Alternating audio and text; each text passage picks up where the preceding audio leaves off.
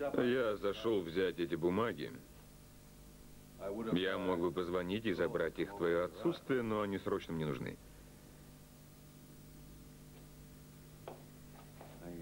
Вчера я очень огорчился из-за Келли. Она так хотела нам помочь. Это не в ее власти.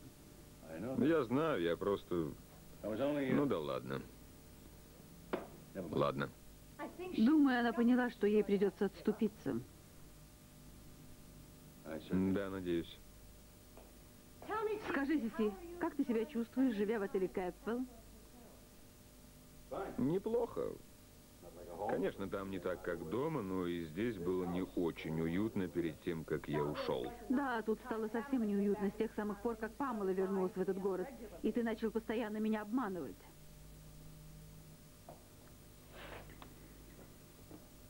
Я пытался защитить жену и всех родных, а ты пыталась уберечь собственную шкуру. Ну вот, опять одно и то же. Скажи мне лучше, как ты проводишь вечера в отеле Кэпфелл? Сидишь в номере и смотришь телевизор?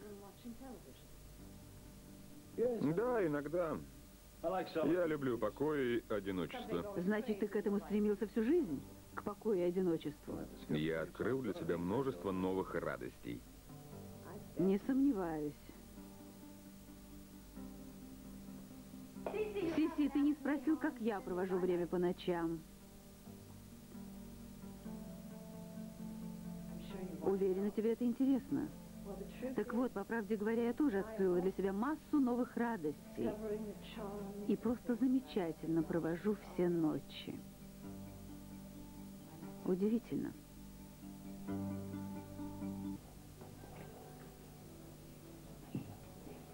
Кажется, я тебя сюда не приглашал. Дожидаться от тебя приглашения безнадежно. Сиси, мне нужно кое-что тебе сказать. Но у меня нет ни времени, ни желания сидеть и слушать тебя. Сколько можно меня унижать? Ты сама себя унижаешь, Памела.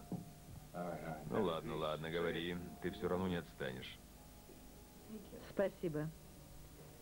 Я размышляла о природе любви. Памела, не надо. И пришла к такому выводу. У каждого человека в жизни бывает большая любовь, великая страсть. Находится кто-то, с кем ему весело и очень хорошо. Я просто замечательно провожу все ночи. Я провожу ночи замечательно. Замечательно. Я не желаю слушать рассказы о твоей великой страсти. Будь добра, оставь меня в покое. Ты поняла? Ты делаешь вид, будто забыл о том, что у нас было, Сиси. Но ты помнишь, я знаю. А я узнала благодаря тебе, что такое любовь. И не намерена прожить остаток жизни без этой любви и без тебя. Клянусь Богом, я не отступлю. Вот что я хотела сказать тебе, Сиси.